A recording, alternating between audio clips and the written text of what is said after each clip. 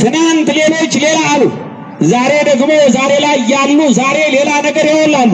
ነገ ደግሞ ሌሎች ሌላ ያወራሉ። እነዛኞቹ ሄደዋል። ዛሬ ያሉትም ይሄዳሉ። ይቺ ቤተ ክርስቲያንና የክርስቶስ መስቀል ግን ለዘላለም ይኖራሉ። ዛሬም ዛሬም እንዲህ አይነት ስራ ለመስራት ያኮበኮባችሁ ካላችሁ ትናንት ይህ ሕዝብ ነውና ኃላፊነት ላይ ያስቀመጣችሁ ነገም ደግሞ ወደ ሌላ አቅጣጫ ስትሄዱ ዋጋ ትከፍላላችሁና የማይረባ ዋጋ እንዳትከፍሉ ተጠንቀቁ።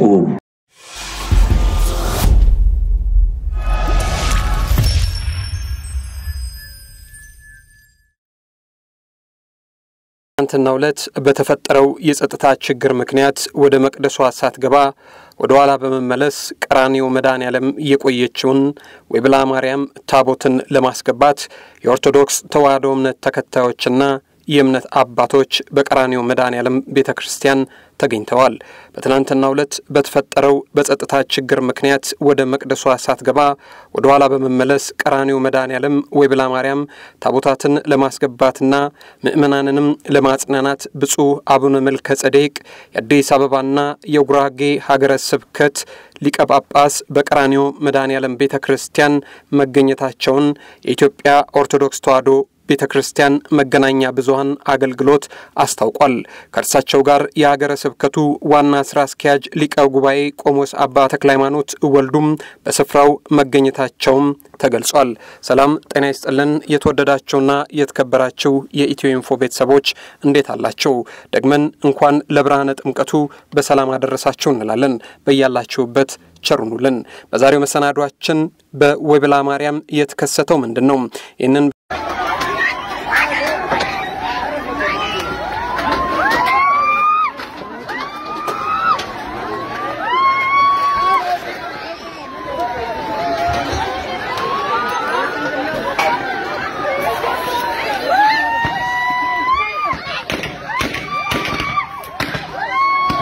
በተመለከተ ምዕመናንና አንዳንድ ግለሰቦችና ተቋማት ጉዳይ ላይ ያደረሱንን ሀሳብና አስተያየቶቻቸውን ይዘንላችሁ እንቀርባለን።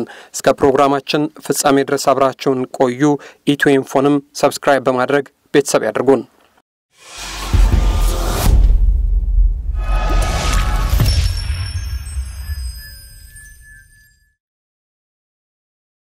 ኢትዮጵያ የኦርቶዶክስ ተዋሕዶ ክርስትና ሃይማኖት አስተምሮ ሁለት አበይት የአደባባይ በዓላት አሉት። የጥምቀትና የመስቀል በዓላት። በኢትዮጵያ የጥምቀት በዓል ለረጅም ዘመናት ሲከበር የቆየ እንደሆነ የተለያዩ የታሪክ መዛግብት ያሳያሉ። በየዘመናቱም በበዓሉ የአከባበር ስርዓቶች ላይ የተለያዩ ለውጦች ተደርገዋል። ከእነዚህም መካከል ዋና ዋናዎቹን እንመልከት ብንል እንኳን የጥምቀት በዓል የለውጥ አንጓዎቹ ይህንን ይመስላሉ። በኢትዮጵያ የጥምቀት በዓል መታወቅ የጀመረው የክርስትና ሃይማኖት ወደ ሀገሪቱ ከመግባቱ ጋር የተያያዘ እንደሆነም ይነገራል። ክርስትና ወደ ኢትዮጵያ የገባው የንግሥት እንደኬ ዣንደረባ የሆነው ባኮስ በቅዱስ ፊልጶስ አማካኝነት ተጠምቆ ወደ ሀገሩ ከተመለሰ በኋላ እንደሆነም ይነገራል። የጥምቀት ስርዓት በአክሱም ቤተ መንግስት በዣንደረባው ባኮስ አማካኝነት ከተዋወቀ በኋላም ከአክሱም ከተማ በስድስት ኪሎ ሜትር ላይ በሚገኘው አይህዳ ተብሎ በሚጠራ ባህር አጠገብ መከበር እንደተጀመረም ይገለጻል። በዚህ ስፍራ ታዲያ መከበር የጀመረው የጥምቀት በዓል ቀስ በቀስ ወደ ሌሎች የሀገሪቱ ክፍሎችም በስፋት መስፋፋት ጀመረ። የጥምቀት በዓል በአብርሃ ወአጽብሃ ዘመነ መንግስት መደበኛም የአከባበር ስርዓት ሕግና ደንብ ተበጅቶለት በቀኖና ቤተ ክርስቲያን እንዲከወንም ተደርጓል። ይህም በዓሉ ይበልጥ እንዲጠናከር ምክንያት እንደሆነም ይገለጻል። የጥምቀት ባህል በአጼ ገብረ መስቀል ዘመነ መንግስትም ደማቅ መልክ እንደያዘም ይነገራል። ይህም ቅዱስ ያሬድ ለጥምቀት የሚሆንን የዜማ ድርሰት ማዘጋጀቱና የጥምቀት በዓል ጥር 11 ቀን በውሃ አካላት ዳር አክብረው ማታ ወደ መንበረ ክብራቸው ወደ ቤተ መቅደስ እንዲመለሱም መደረጉ ነው። ይህ የጥምቀት በዓል አከባበር ታዲያም ከጊዜ ወደ ጊዜ በኦርቶዶክስ እምነት ተከታዮች ዘንድ እጅጉን እየደመቀና እየሰፋ በዓሉን ለማክበር የሚወጡ ምዕመናንም የሀገር ባህል ልብሳቸውን አይነትና መልክ ትኩረትን እንዲስብ አድርገው እየሰሩት ደምቀውና ተውበው የሚገኙበት የአደባባይ በዓል ነው።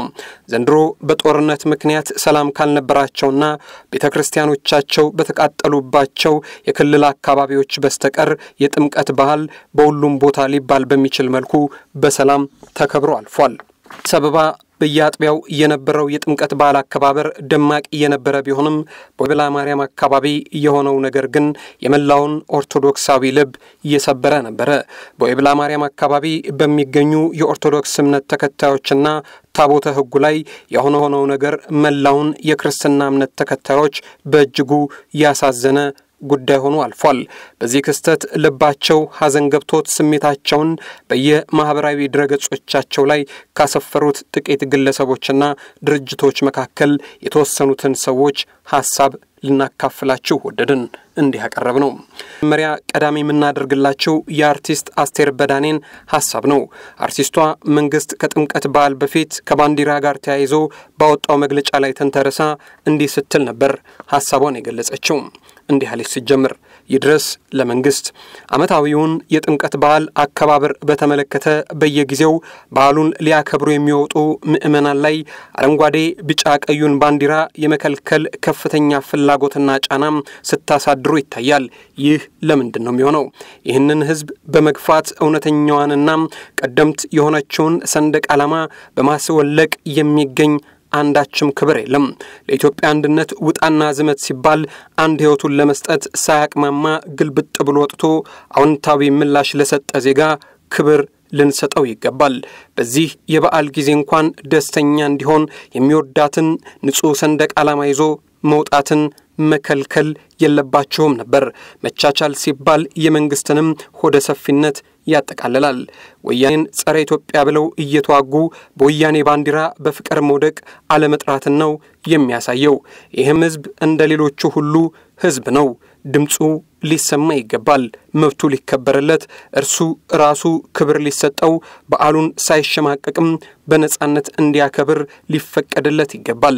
የወያኔን መሪዎች ለመፍታት ሳያችሁትን የርኅራይና የፍቅር ልብ እዚህ ጋር ልትተገብሩት ግድ ይላቸዋል። ድል ለእውነተኛ ኢትዮጵያዊነት፣ ሰላም ለምድራችን፣ መልካም የጥምቀት ባህል ይሁን። ግልባጭ ትልና እንዲህ ትላለች። ግልባጭ ለሚመለከታቸው ሁሉ አስቴር በዳኔ ዘኢትዮጵያ ስትል የመጀመሪያ ጽሑፏን አጠቃላለች። በትናንትናው አሳፋሪ ክስተት ደግሞ መልሳ የተሰማትን እንዲህ ስትል ጽፋለች። ኦርቶዶክስ ቤተ ክርስቲያን በጨቅላነቴ አጥምቃ ክርስቲያን እያደረገችኝ ቤተ ክርስቲያን ነች። ሥጋ ወደሙን እየሰጠችኝ የዘላለም ሕይወትን ተካፋይ እያደረገችኝ ያስተማረችኝ ቀት በሕመሜ ጊዜ በጸበሏ የፈወሰችኝ ሀገሬን ሕዝቤን እንድወድ በሚስጥር እያስተማረችኝ ፈሪያ እግዚአብሔር ያሰረጸችብኝ ሁልጊዜም የምወዳት የማከብራት እናቴ ናት። እኔ ውለታዬን የምረሳ ውለታ ቢስ አይደለውም። ብትገፉኝ ብታሳድዱኝም፣ አላዋቂ ምዕመናን ስድብ ቢያጠጡኝም ፍቅርና አክብሮቴ ግን ዘላለማዊ ነው። ኢትዮጵያዊነቴ በደሜ ውስጥ እንዳለ ሁሉ ለእናት ቤተ ክርስቲያኔም ያለኝ ጽኑ ፍቅር ጌታ እስኪመጣ ወይ እኔ ወደ ጌታ እስኪሄድ ይቀጥላል። ትናንት ያከበርኩትን ዛሬ አላዋርድም። ይህንን ለማድረግ አስተዳደጌ በጭራሽ አይፈቅድም። የሀገሬን ክብር ከፍ አድርጋ የምታሳይ በኢትዮጵያ አንድነት የማትደራደረው ባለማተቧ ቃል ኪዳን አክባሪዋን ምሰሷን ቤተ ክርስቲያን ተዋት። እጃችሁን ደጋግማችሁ የምትሰነዝሩባት ሀገሯን ሰንደቋን ባለመካዷና በመውደዷ ነው። ሀገር ሊያፈርስ የመጣን ወራሪ ከማንም ቀድማ ያወገዘችና ልጆቿን መርቃ ልካ ከመፍረስና ከመዋረድ ያዳነች ቤተ ክርስቲያን ነች። እጃችሁን ከቤተ ክርስቲያኗ ላይ አንሱም። እኔ ናግሬያለሁ፣ መጨረሻችሁ ይፈጥናል፣ ከዋት አወዳደቅም ይከፋል። ጌታ ምስክሬ ነው። እግዚአብሔር ይህችን ቤተ ክርስቲያን ከውስጥም ከውጭም ያጸዳታል፣ ለክብሩም ያቆማታል። እናንተ የጨለማው መንግሥት ቋሚ ሠራተኞች ዘር ከዘር ለይታችሁ አባልታችሁን አልቅ ስንላችሁ አሁን ደግሞ በሃይማኖት ልታናክሱን ፈቀዳችሁ፣ ወደዳችሁ። ጌታ ኢየሱስ ምስክሬ ነው። አሁንስ አይሳካላችሁም። ሁሉም ኅብረተሰብ አንድ ሆኖ ከግፏን ጋር ይቆማል። ዘንድሮ አሁንስ የመጨረሻችሁ ይመስለኛል። የግፍ ዋንጫችሁ ሞልቷል። አጉል ነገር እየነካካችሁ ነውና የምናመልከው የሁሉ ፈጣሪ የሆነው እግዚአብሔር ራሱ ለፍርድ ይነሳል። ከሌላው አይታችሁ ልትማሩ አልወደዳችሁምና የጥፋት ኃይል የሆናችሁትን እየነጠለ እግዚአብሔር ያጠፋል። የንጹሐን ደም ወደ ሰማይ ይጮኋል። በቃ በቃ no more። አስቴር በዳኔ ነኝ ዘኢትዮጵያ ስትል ነበረም በትናንትና ሁኔታ ስሜቷን የገለጸችው። ዳኛው ጋዜጠኛ ጌታቸው አለሙ ነው። እንዲህ ይላል ጋዜጠኛው እርሶ በሕዝብ ትግል የተወገደው ኢህአዴግ ሀገራዊ ለውጡን ተከትሎ ሊቀመንበር ሆነው የተመረጡት ጠቅላይ ሚኒስትር አብይ አህመድ በየትኛውም መልኩ ግፍ አይደገምም፣ እንዲያውም ባለፈው ስርዓት አሸባሪ እኛ ነበርን ብለው በይፋ በፓርላማ በመናገር ይቅርታ ጠይቀው በሂደት ወደ ብልጽግና ፓርቲ መልጡን ቢያበስሩም ታች ባሉ አንዳንድ የፖሊስ አባላቱም ሆነም አመራሩ ነውረኛና በጭካኔ የተሞላ ግፍ መቀጠሉን ከማየት የበለጠ የሚያም ድርጊት የለም። አሁን ከዚህ የሚበልጥ ነውር የለምና የፖለቲካ አመራሩ ይህንን ነውረኛ ድርጊት አውግዞ አፋጣኝ መፍትሄ መስጠት ይጠበቅበታል። በኢትዮጵያ ታቦት አይገባም ብሎ የከለከለ አላዋቂ ስለመኖሩ በዕድሜ ሰምቼም አይችም አላውቅም። ይህ የነውር መጨረሻ ነው። ዛሬ በወይብላ ማርያም ታቦታቱ ባታቸውን ማምሻውን ሰምተናል። እሱ ብቻ አይደለም፣ የሰንበት ተማሪዎችና ምዕመናን ተተኩሶባቸው መጎዳታቸውም እጅግ አሳዛኝና አሳፋሪ ድርጊት ሆኖ ተመዝግቧል። እግዚአብሔር ትዕቢተኛን ይቃወማልና ዘላለማዊ መፍትሄ እንደሚሰጥም አምናለሁ ሲል ጋዜጠኛው ስሜቱን ገልጿል። ሌላኛው ደግሞ አርቴክት ዮሐንስ መኮንን ነው። እንዲህ ሲል ነበረ መንግስትን የሸነቆጠው ድንኳን ሰባሪ መንግስት ይለዋል። ዓይንን በጨው አጥቦ ባልጠሩበት ድግስ ላይ ተገኝቶ የመስተንግዶ ስነ ስርዓት ለማስያዝ መሞከር ህፍረተ ቢስነት ነው። ህፍረተ ቢስነት የተጠናወተው ድንኳን ሰባሪነት ካልሆነ የለየለት አምባገነንነት ነው። ዛሬ በወይብላ ማርያም የሆነውም ይሄው ነው። የሰንበት ተማሪዎች የለበሱት አልባሳት ቀለም አላማረኝም ያለው የኦሮሚያ ክልል ፖሊስ ሰላማዊውን በዓል ልብስ አውልቁና አናወልቅም የሚል ረብሻ ፈጥሮ ታቦታቱን አጅበው ወደሚጓዙ ምዕመናን ተኩስ በመክፈት የወይብላ ማርያም ታቦት ወደ መቅደሷ ሳትገባ ወደ ኋላ ተመልሳ ቀራኒዮ መድኃኔዓለም ቀራባት ተገዳለች። ዘግይቶ እንደሰማነው ከሆነ ደግሞ ሁለት ወጣቶች ከፖሊስ በተተኮሰ ጥይት ማምሻውን ሕይወታቸው አልፏል። ምዕመናን የሌላውን መብት ሳይነኩ የራሳቸውን ብቻ በሆነ የአምልኮ ስርዓትና የብቻቸው መገልገያ በሆነ መቅደሳቸው መልበስ ያለባቸውን የአልባሳት ቀለምና መያዝ ያለባቸውን አርማ የመወሰን መብት የራሳቸው ብቻ ነው። ይህንም መብት ለመግፈፍ መሞከር ቀልብንም ክብርንም ሆነ ስልጣንን እንደሚያስገፍፍ እንዲሁም ውርደትን እንደሚያከናንብ ከታሪክ ለመማር ስላልታደላቸው ከታሪካቸው ሌሎች ይማራሉ ሲሉም መንግስትን ሸንቁጠዋል። በመጨረሻም የባልደራስ ፓርቲ በጉዳዩ ላይ እንዲህ ሲል መግለጫ አውጥቷል። ጉዳት ያደረሱት የጸጥታ አካላት ተጠያቂ እንዲሆኑ እንጠይቃለን ይላል። ለእውነተኛ ዲሞክራሲ ፓርቲ ማምሻውን ባወጣው መግለጫ እንዲህ ብሏል። ዛሬ ጥር 12 ቀን 2014 ዓ ም በአዲስ አበባ በስተ ምዕራብ በሚገኘው የወይብላ ማርያም ቤተ ክርስቲያን ለጥምቀት የወጣ ታቦትና አጅበውት በነበሩት ህዝበ ክርስቲያን ላይ የኦሮሚያ ክልል ልዩ ኃይል ተኩስ በመክፈት ታቦታቱ ወደ ቤተ ክርስቲያን እንገቡ ባደረጉት ክልከላና ይህንን ተከትሎ በተፈጠረ ግጭት በርካታ ምዕመናን ለጉዳት መዳረጋቸውን አሳውቋል። ፓርቲው በዚህ ግጭት ከልጅ እስከ አዛውንት የአካልና የስነ ልቦና ጉዳት በምዕመናኑ ላይ መድረሱን ተገንዝቤያለሁ ሲልም ሀሳቡን ገልጿል። በርካታ ምዕመናንን በሕክምና መስጫ ተቋማት ሕክምና እየተከታተሉ እንደሆነም ለመረዳት ተችሏል። ባልደራስ ለእውነተኛ ዲሞክራሲ ፓርቲ በመግለጫው ላይ በደረሰው ጉዳት ጥልቅ ሐዘን እየተሰማው መሆኑን ገልጾም ውስጥ አሁንም ሕግ የማስከበር ተቀዳሚ ተግባሩን አለመወጣቱን አበክሮ ማውገዙንም ገልጿል። አክሎም እንዲህ ብሏል። አሁንም እየደረሰ ላለው ውጥረትና ግጭት መንግስት ሕግ እንዲያስከብር እንጠይቃለን። ጉዳት ያደረሱትን የጸጥታ አካላት ተጠያቂ እንዲሆኑም ባልደራስ ይጠይቃል ሲል በመግለጫው አሳውቋል። የተወደዳችሁና የተከበራችሁ የኢትዮ ኢንፎ ቤተሰቦች እኛም እንዲህ እንላለን። የሀገር መሰረት እንዲቆይ ዋጋ ለከፈለች ቤተ ክርስቲያን መንግስት ትኩረት እንዲሰጥ፣ የሃይማኖት መቻቻልን ወጉንና ስርዓቱን ጠብቆ እንዲያስተናግደውም እናሳስባለን።